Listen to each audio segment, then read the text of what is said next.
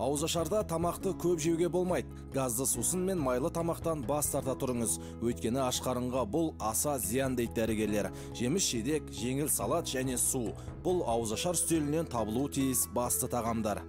Суды ішер ішпестен бірден тамаққа бас салуға болмайды. Кемінде 5-7 минутқа үстелден алыстап ішкен суды бойға сіңіру қажет.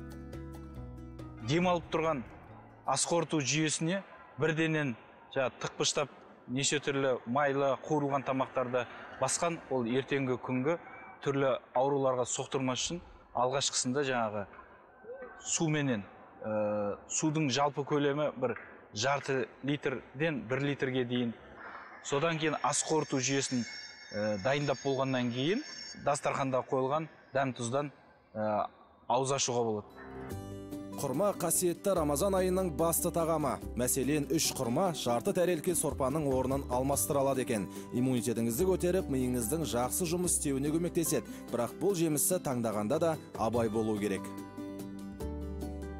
Құрманың өзінің ә, составын құрамына қарайтын болсақ ода ешқандай зиянды заттар жоқ. Тек оның тасымалдауына және сақталуына келген кезде белгілі бір жаңағыдай инфекция әкелетін нәрселер болуы мүмкін. Қазіргі таңда бұл енді дәл қазір көктем уақытында инфекцияның жұқпалы аурулардың өршитін уақыты.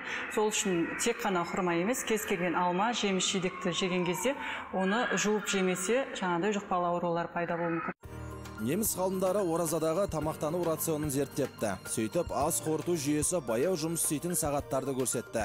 Мәселен түнгі 12.30 бен бір аралығында жақсылап тамақтансаңыз қарныңыз мүлдем ашпайды екен. Ал сағат бір жарым мен екі аралығында ішілген ас тез қорытылатын көрінеді. Бірақ бұл жердегі басты мәселе тамақтың құнарлығында күріш ет қарақұмыққа бұл айда әдетте сұраныс басым болады екен.